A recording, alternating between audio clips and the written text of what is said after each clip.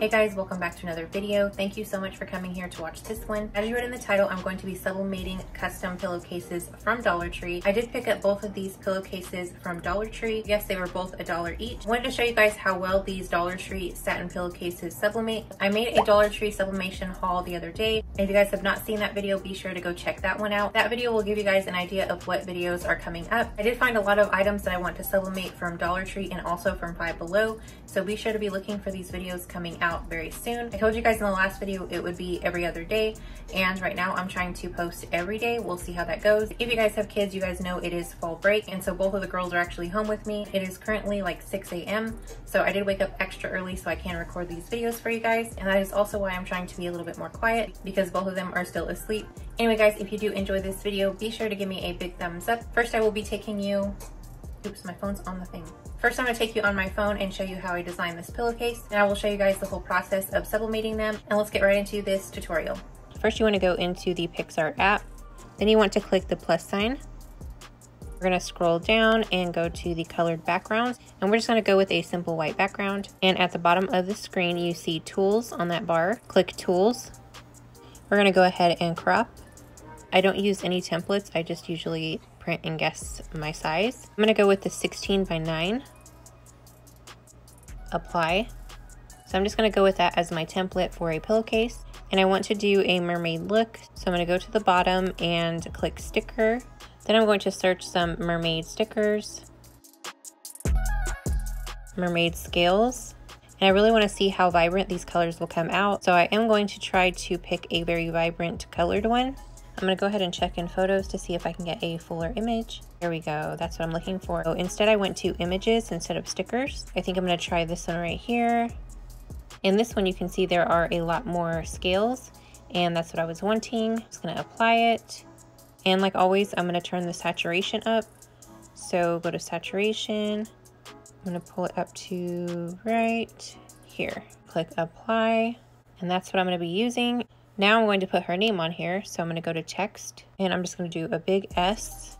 I'm going to change the font, just simple. And I want to make sure I have plenty of room. So I am going to make this S a little bit small.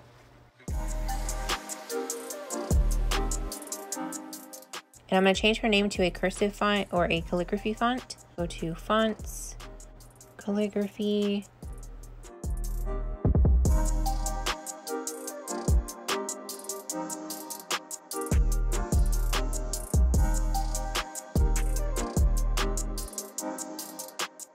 I think I like how that looks, so we're gonna go ahead and get it ready to print. I'm a little bit scared about this being too big, so maybe I should make it smaller. And since we're making a regular size pillowcase and it is longer, I am going to be using the 13 by 19 inch A-sub paper and it is A-sub sublimation paper 125G and we did pick this up from Amazon. And like always, I will have this paper linked down in the description if you guys are looking for some sublimation paper. I'm gonna go ahead and load up the printer. I went ahead and sent this design over to my computer. I use Apple, so I just had to airdrop it over to the computer. And this looks even better on the computer. Let me know what you guys think of this design down in the comments. I think it's gonna look really cute and I hope that it's not too wide or too long. And like always, we don't use any software or profiles to print out our image. So here's the file right here, JPEG. Make sure you have the image selected. Go ahead and click File. Print. Epson ET15000, default settings, copies one, paper size. We are going to be printing on 13 by 19 which is Super BA3. The orientation is set to default, so it is gonna automatically pick portrait. And I want to change it over to landscape, turn off auto rotate. You guys see what I was saying about it having a white edge and it will have a little bit of a white edge right here, but I am going to try to scale it to fit that paper. So scale to fit, and let's see if we can fill entire paper and it will probably stretch it out or stretch the image a little bit. Yes, all right, so that's probably what I'm gonna end up doing just because I believe that the pillowcase is going to be a lot bigger than this paper. And I've even seen people customize pillowcases without this background. So you could just put an S and their name on it or just some different stickers like little princesses, just whatever sticker, Disney characters or whatever you want on there. But we're gonna try this right now. We're gonna click fill entire paper, scale to fit, and we are on Super BA3, media quality best, layout. We want to flip horizontally so our words are not backward. You don't have to do cover page watermark, supply levels. And now we're back to preview. It looks like it's ready to print and let's hope it comes out nice.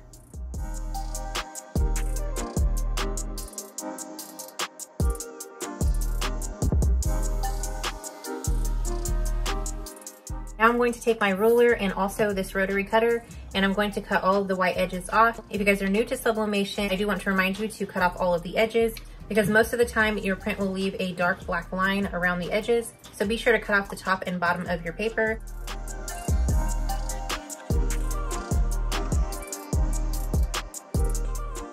And now that I have the pillowcase opened, it is a lot bigger than I thought it was um, but that's okay. You don't really have to fill the whole pillowcase. You could do it, it is possible. Like I said earlier, you could just do their name and their initial right in the middle of this pillow and then just add some different images to it. That way you don't have to worry about the size of the image. I might do that actually on the back of the pillowcase to show you guys what I mean. But for the front, we are just gonna go ahead and go with it like this. I just want to see if it will sublimate and I am going to put a piece of butcher paper inside of the pillowcase just so that the print doesn't bleed through the back of the pillowcase.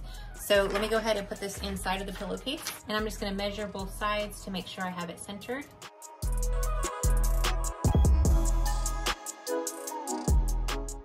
Grab your piece of butcher paper. And I'm going to be pressing at 380 degrees for 50 seconds. Hopefully this sublimated and hopefully didn't melt the pillowcase or anything. It does say it's 100% polyester, so it should have turned out fine.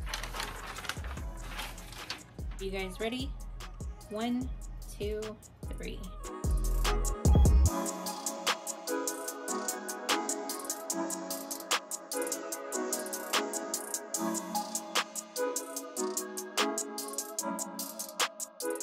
Alright guys, and for the other side, I'm going to be using this image right here.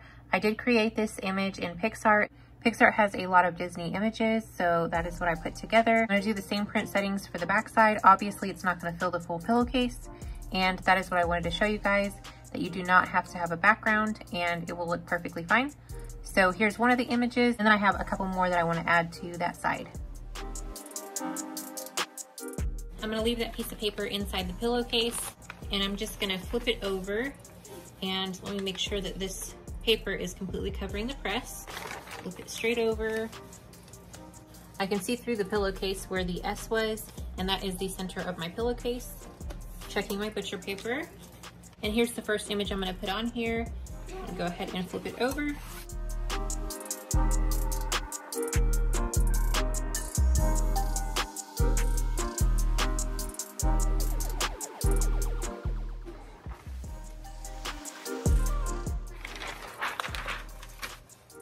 Right, are you guys ready? One, two, three.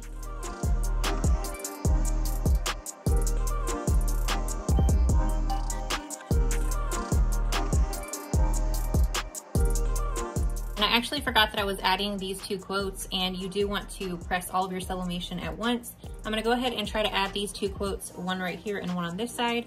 So hopefully that works out, we will see. So I'm just gonna move as much as I can of this off of the press. I don't want any of this image on the press. You don't want to double press a sublimation print. So I have to make sure this is all the way off right there.